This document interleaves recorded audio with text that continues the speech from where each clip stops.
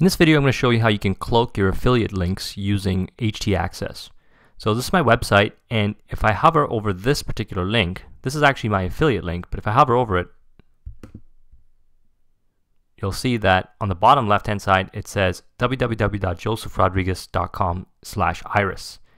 That's not the affiliate link, but that link on my site, even if you type it in the browser on the top, will get forwarded over to my affiliate link and my affiliate link is actually stored in my htaccess file.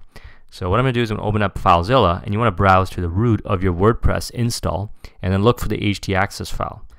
And you want to be very careful when you do this because if you mess up your htaccess file, you'll mess up your site, and uh, you know you can fix your htaccess file, but your site won't load properly.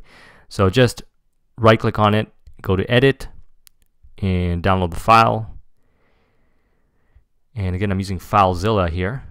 And this is the code that you're going to want to place. You want to type in redirect space slash and whatever link sublink on your site. So I use iris. So I did slash iris and then a space and then paste your affiliate link in here.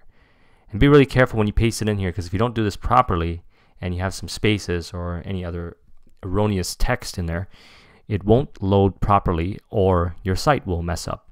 So then after doing that, you just have to save that file and when you go to your website and click on or you insert the link somewhere on your website, if somebody clicks on it, they'll end up getting forwarded over to whatever landing page uh, you want. Now you can also do this with, you know, long links or whatever you want. It's just uh, it looks a lot better than having your affiliate link in there, which can be this long text if, if the user hovers or the visitor hovers on the on the link. Thanks for watching. If you have any questions, let me know.